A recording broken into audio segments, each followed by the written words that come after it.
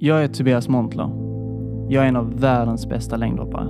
Att tillhöra världseliten kräver mer än att prestera väl på plats.